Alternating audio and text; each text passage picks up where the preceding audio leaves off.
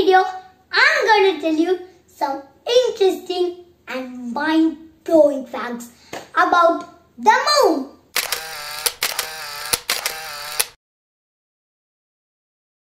I've already uploaded a video about the sun. If you have not seen that video, you can check it out. I'll give the link in the description box. So, about the moon.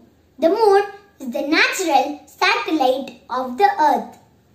The moon is the, the closest neighbor for the earth in the sky. So, many of you have a doubt if it is our closest neighbor, so we can live in the moon. No, we can't because there is no scope of water in the moon. So, can't live in the moon.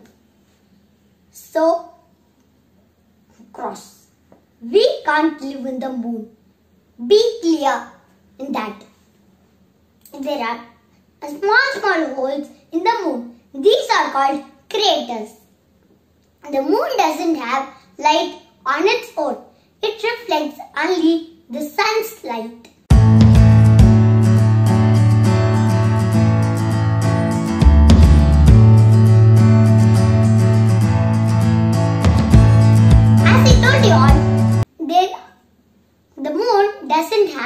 Light on its own. So, it reflects only the sun's light. So, the part, we can see only the part which is lit up. And we can't see the part which is dark. And then, now, I'll tell you what are the phases of moon.